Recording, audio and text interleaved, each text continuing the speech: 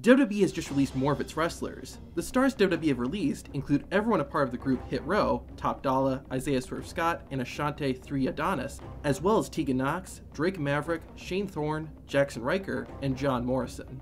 According to reports, the reason for WWE releasing these wrestlers is budgetary reasons.